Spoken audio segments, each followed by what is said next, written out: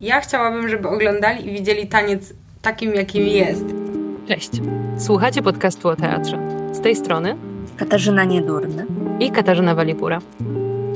W dzisiejszym odcinku podcastu o teatrze rozmawiamy o choreografii, a szczególnie o nowej choreografii. Ale co to w zasadzie jest? To jest pytanie, które kiedyś zadano mi nawet przy okazji recenzowania artykułu naukowego, który pisałam na temat projektu Agaty Śniarskiej i Karoliny Grzywnowicz Druga Natura to Zuzanna Berendt. Jestem badaczką związaną z Katedrą Teatru i Dramatu Uniwersytetu Jagiellońskiego, ale oprócz tego pracuję też jako niezależna kuratorka, krytyczka teatralna i researcherka w projektach artystyczno-badawczych, między innymi takich, które są realizowane przez artystki z pola choreografii. I faktycznie spróbowałam wtedy dokonać pewnego rodzaju archeologii używania tego sformułowania na polskim gruncie. I dwie rzeczy wydają mi się tutaj istotne. Pierwsza to jest taka, która Stosowanie tej nazwy wynika z potrzeby odróżnienia tego nurtu od nurtu tańca współczesnego, który jest e, wciąż bardzo popularny, ale nie należą do tego nurtu te praktyki, które prezentowałyśmy razem z Izabelą Zawadzką, Alicją Miller i Darią Kubisiak w projekcie Nowa Choreografia, Kierunki i Praktyki. Drugim istotnym wątkiem jest to, że przez wiele lat w Polsce podstawową strukturą wsparcia tańca był projekt Stary Browar Nowy Taniec, realizowany przez Joannę Lesnierowską w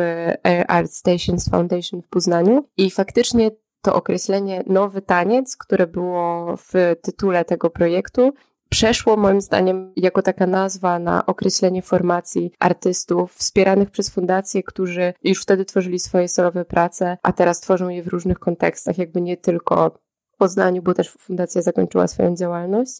No i do tej formacji zaliczyłabym i właśnie wspomnianą Agatę Śniarską i Ramonę Nagabczyńską, Pawła Sakowicza.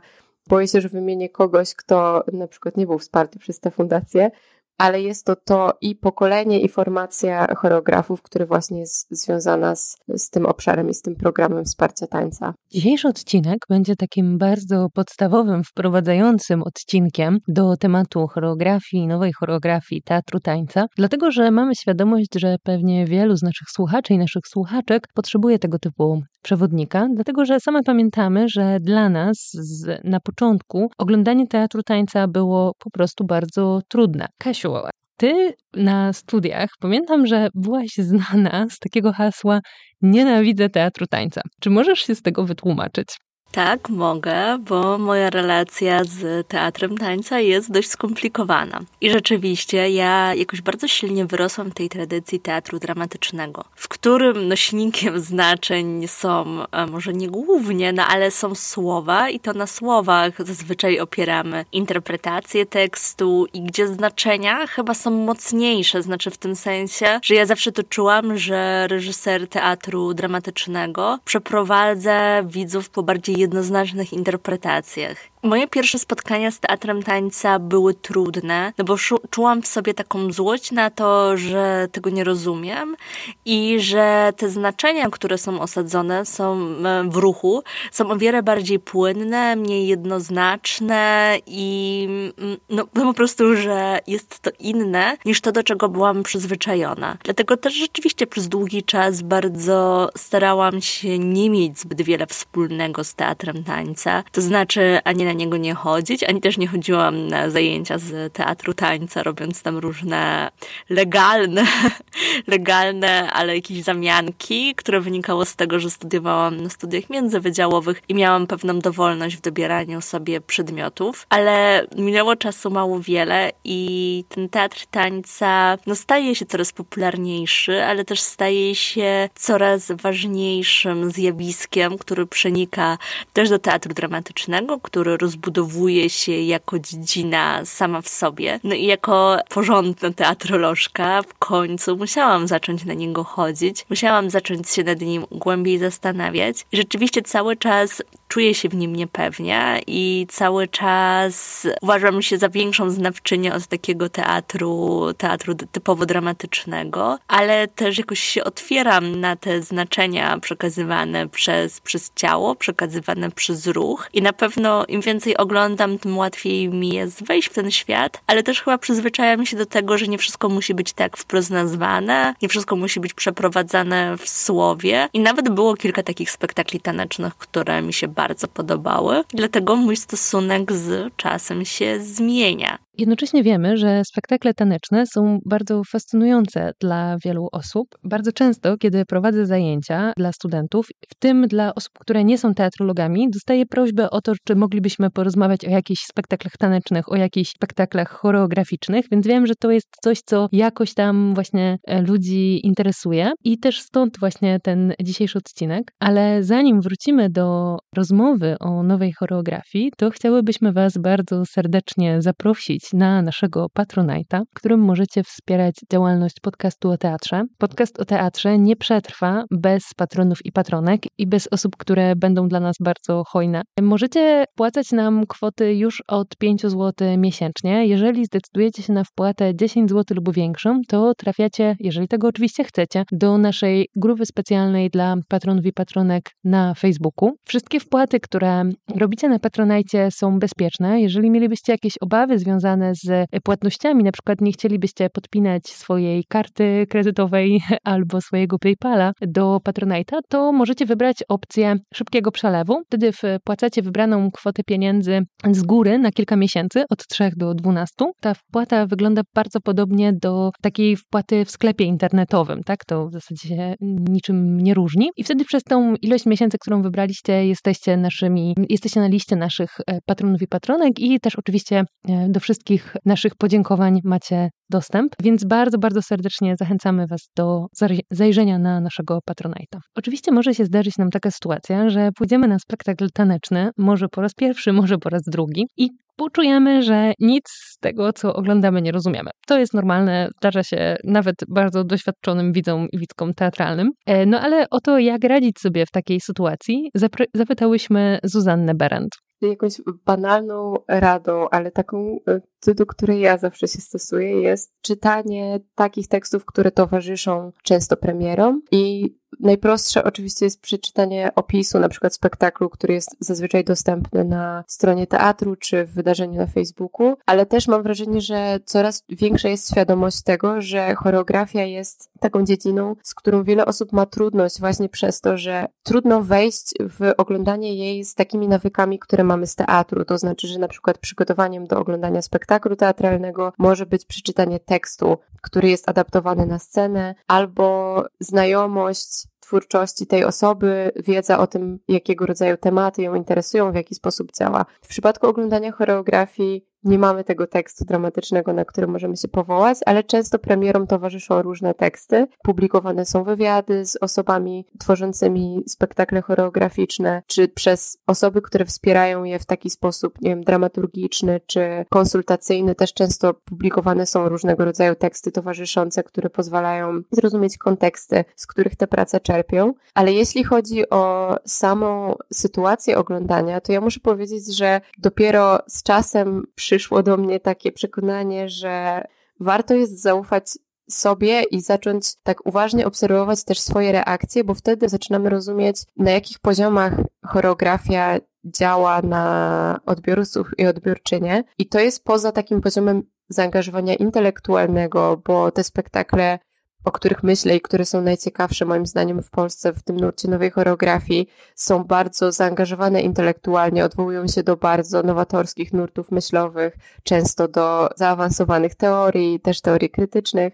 Ale poza tym poziomem intelektualnym one bardzo mocno działają na ciało i myślę, że ta sytuacja jest w gruncie rzeczy dość prosta, to znaczy koncentracja na tym, w jaki sposób to ciało poruszające się, które oglądamy, nawet siedząc nieruchomo, bo taka jest jednak wciąż sytuacja większości pokazów spektakli choreograficznych, to pytanie, jak to ciało poruszające się działa na moje ciało i co ono robi z tym moim ciałem, z obrazem mojego ciała, ale z tym też w jaki sposób odczuwam nawet takie proste rzeczy, jak jego ciężar, jakiś wewnętrzny rytm, to jest coś, co jest uwspólniane w sytuacji oglądania choreografii na żywo. I wydaje mi się, że taka uważna obserwacja własnych reakcji pozwala zacząć odbierać choreografię bez takiego kompleksu niezrozumienia. Tym, co też wydaje mi się jakoś bardzo ciekawe, to podążanie za takimi skojarzeniami, które mogą być jakoś nieoczywiste, ale które pozostają w polu tego odbioru po, po prostu przez to, że znaczenie, tak jak w teatrze, tak samo w choreografii, wytwarza się gdzieś na przecięciu tego, co jest pokazywane na scenie i tego, co wnosi w tę sytuację odbiorczyni czy odbiorca. I to nie jest tak, że choreografowie i choreografki przekazują nam przez swój taniec jakąś wiadomość, którą my musimy odczytać i albo jesteśmy wystarczająco kompetentni, żeby to zrobić, albo nie. Tylko faktycznie takie aktywne podejście do odbioru tańca wydaje mi się, że jest najbardziej sensownym podejściem i z tego doświadczenia pracy właśnie w projekcie Nowa Choreografia, Kierunki i Praktyki i rozmów z choreografami i choreografkami, które odbywały się w ramach tego projektu, wyniosą takie przeświadczenie, że oni często też wiele dowiadują się od nas jako odbiorców o swoich praktykach, o tym, co one wywołują, jakiego rodzaju myśli, jakiego rodzaju poruszenia, więc warto nie dyskwalifikować od razu swojego odbioru, nawet jeżeli uważamy ten odbiór za odbiór w jakimś stopniu, nie wiem, dyletancki czy mało ekspercki. Być może na tym etapie czujecie się onieśmieleni ogromem tematu, dlatego poprosiłyśmy Zuzannę Berendt o dodatkowe wskazówki dla osób, które dopiero zaczynają swoją przygodę z oglądaniem tańca.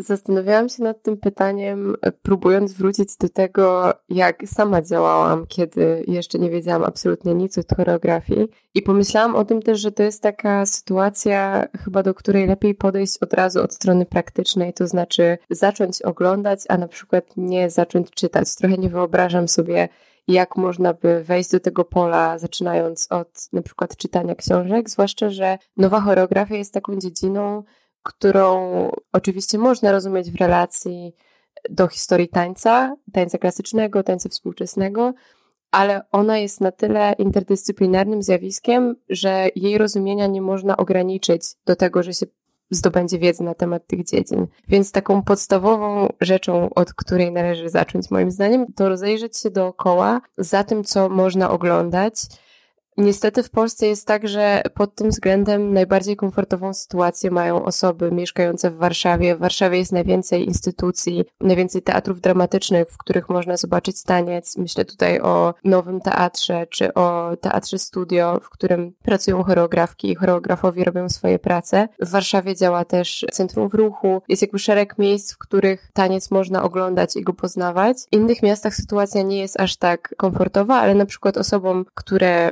mieszkają w Krakowie albo w Krakowie i okolicach, bardzo polecałabym śledzenie działań Krakowskiego Centrum Choreograficznego, które oprócz tego, że organizuje festiwal, na którym można obejrzeć dużo prac wyprodukowanych również poza Krakowem, to też ma szereg wydarzeń w ciągu roku, na które można chodzić, żeby poznawać choreografię. Z drugiej strony myślałam o tym, co można by jednak poczytać, bo dla mnie samej czytanie na temat sztuki jest jakimś ważnym sposobem poznawania jej. I pomyślałam o takich książkach, jak na przykład Świadomość ruchu, teksty o tańcu współczesnym i została wydana pod redakcją Jadwigi Majewskiej. To jest taka książka, do której ja często wracam. Ona zbiera teksty i praktyków i teoretyków tańca i faktycznie pozwala dość dobrze zmapować i zrozumieć te zjawiska, które również na polskim gruncie są teraz istotne. Bardzo ważne też wydaje mi się śledzenie recenzji tekstów, takich bardziej też eseistycznych, które się ukazują w pismach branżowych, bo i diaskalia, i dialog, i dwutygodnik publikują teksty o tańcu i o choreografii, publikują wywiady z osobami tworzącymi w tych dziedzinach. I często, jeżeli mamy trudność z wejściem w pole choreografii od tej strony oglądania, jeżeli to jest dla nas zbyt enigmatyczne, a łatwiej byłoby nam wejść w to właśnie przez jakiś rodzaj opowieści o tym, czym jest choreografia, to na pewno czytanie tego, co się ukazuje w pismach branżowych jest jakimś rozwiązaniem. Domyślamy się, że dla części z naszych słuchaczy i słuchaczek taniec i teatr tańca może być interesujący, dlatego że sami lubią tańczyć. I dlatego chciałyśmy też bardzo posłuchać, jaka jest perspektywa zawodowej tancerki i jak ona myśli o spektaklach tanecznych. I dlatego do dzisiejszego odcinka zaprosiłyśmy Pamelę Bosak, tancerkę, choreografkę, pedagogzkę tańca, a także teoretyczkę, która obecnie pisze doktorat na Uniwersytecie Jagiellońskim. Zapytałyśmy ją o to, jak z pozycji zawodowej tancerki patrzy na przedstawienia taneczne. Przede wszystkim jest to bardzo inspirujące i ma no, to na pewno taki kluczowy wpływ na to, jak ja odbieram w ogóle y, taniec i w ogóle choreografię. Dlatego, że w mojej głowie i ciele często się odbywa taki bezwarunkowy proces zapamiętywania ruchów, kompozycji, przejść. Y, które czasami, jeżeli mi się spodobają, odtwarzam też w domu, a z drugiej strony też widzę ten taniec i ruch, e, przynajmniej staram się takim, jakim on jest. Staram się go w jakiś sposób, jakkolwiek to zabrzmi, oglądać, odczuwać, obserwować, bardziej niż interpretować, to na pewno. Często też zwracam uwagę na taką indywidualność języka ruchowego, myślenia o ruchu danej osoby performującej, czy no też szerzej choreografującej.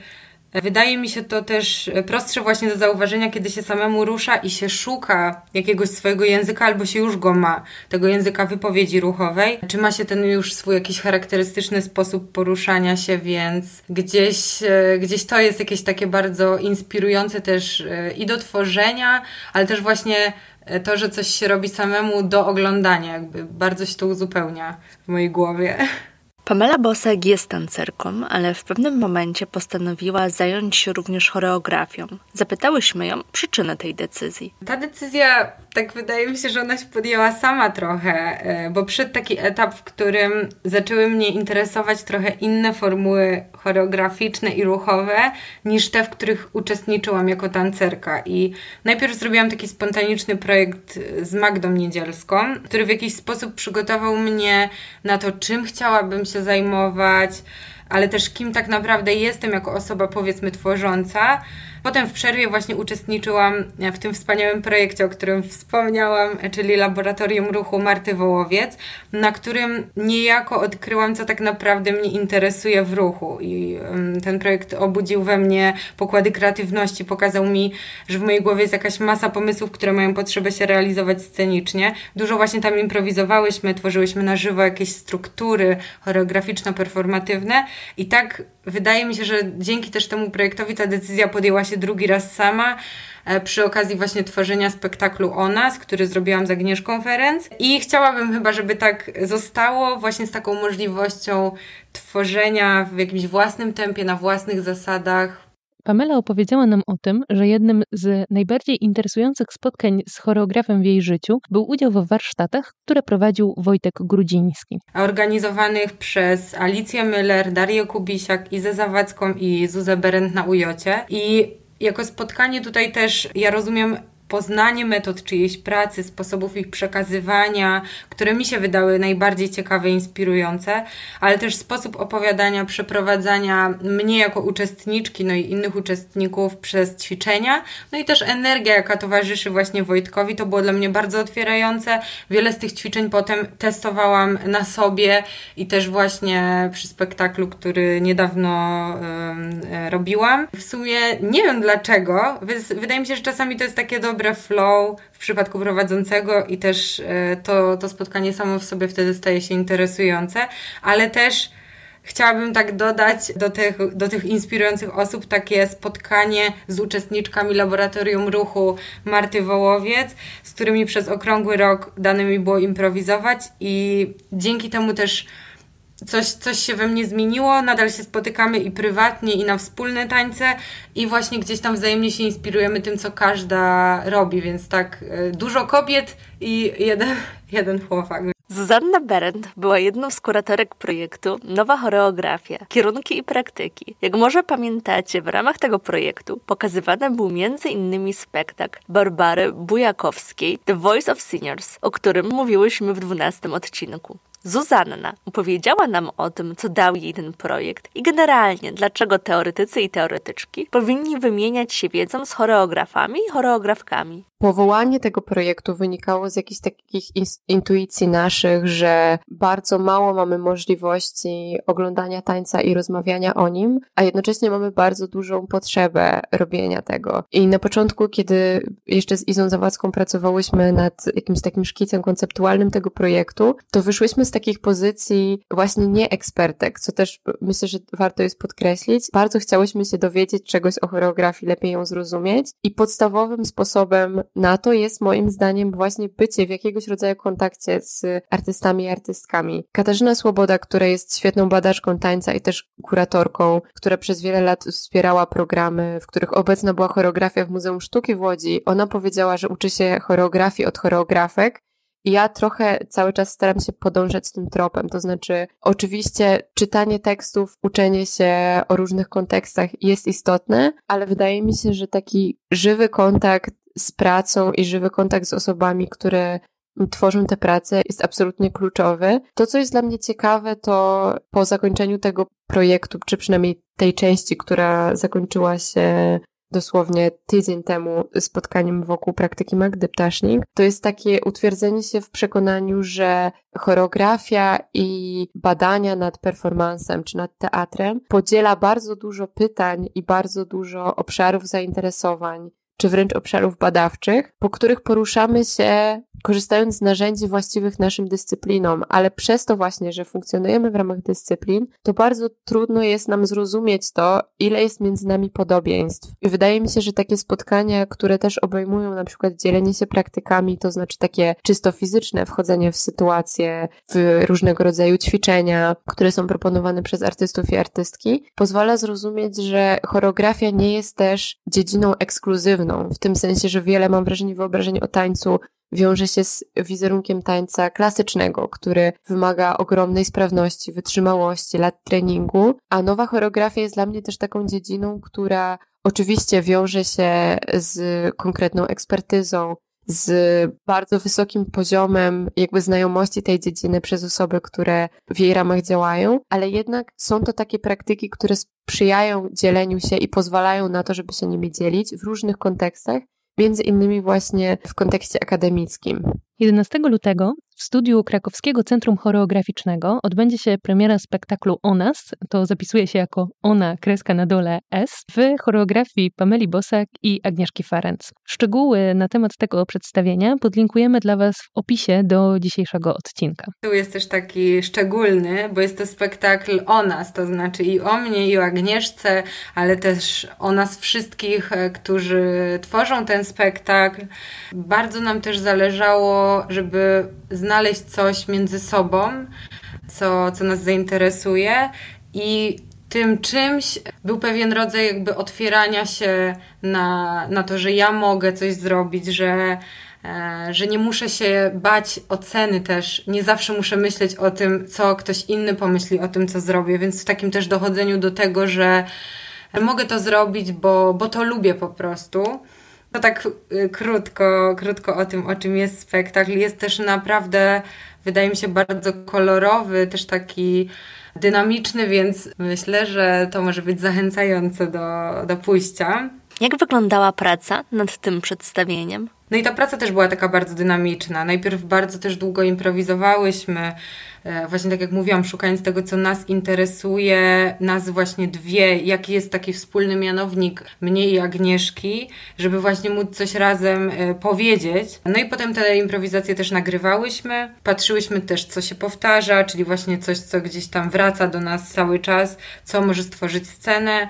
Wypisywałyśmy takie sceniczne marzenia, coś, co byśmy chciały właśnie w tym spektaklu razem zrealizować albo powiedzieć. No i tak powstawały właśnie te sceny, że właśnie jedna, którą nazwałyśmy wybieg, to jest taka scena, która jest konsekwencją naszych rozgrzewek, w których się ustawiałyśmy obok siebie po dwóch stronach i proponowałyśmy sobie przejścia na drugą stronę sali. Też odkryłyśmy, że gdzieś tam niezbyt nam to powiedzmy poważnie wychodzi, więc, więc za tym poszłyśmy też, za, za jakimś takim rodzajem też humoru, który się pojawił. Mm, potem oczywiście też tą scenę ułożyłyśmy. E, inna na przykład powstała podczas nagrań do Open Cola na rezydencję i stała się po prostu gotową sceną. Też ją przerobiłyśmy, ale rozpulchniłyśmy e, zamysł jakości ruchowej i klimat pozostał taki sam jak za pierwszym razem, więc też takie rzeczy się pojawiały. E, no i też pamiętam jak takie rezonujące w mojej głowie na przykład zdjęcie z Instagrama, czy wypowiedź Snoop Doga o tym jak sobie dziękuję E, za pracę, to, to na pewno jest wszystkim znane, e, czy mm, taka piosenka, do której Zendaya jedzie na rowerze z walizką na Instagramie, nagle mi się jakoś połączyły w głowie. Trudno jest to streścić, ale wydaje mi się, dlatego że ta praca ma po prostu wiele etapów. Najgorszy i oczywiście najbardziej pracochłonny jest ten ostatni, czyli wybieranie i układanie tych e, scen, wydłużanie, skracanie, uszczegóławianie ruchów. No tutaj też jakby nie obyłybyśmy się bez dramaturga przy tej pracy, bo jednak to oko z zewnątrz, kiedy myśmy i były w środku, czyli tańczymy i choreografujemy, jest bardzo potrzebne. No i pewnie też te, teraz y, przez to, że gramy za dwa tygodnie, no to te tematy, o których mówię, są na tapecie, bo po tej dwumiesięcznej przerwie musimy wrócić do tego vibe'u, więc gdzieś tam chcemy to odbudować. Choreografia jest istotna także w teatrze dramatycznym. Choreografki są różnie pozycjonowane w procesach twórczych, które się odbywają w instytucjach teatralnych.